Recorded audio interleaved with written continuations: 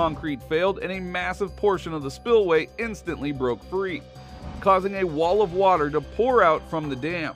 The failure immediately drained 10 feet of water from the reservoir, and by the end of the day, the man made lake was near.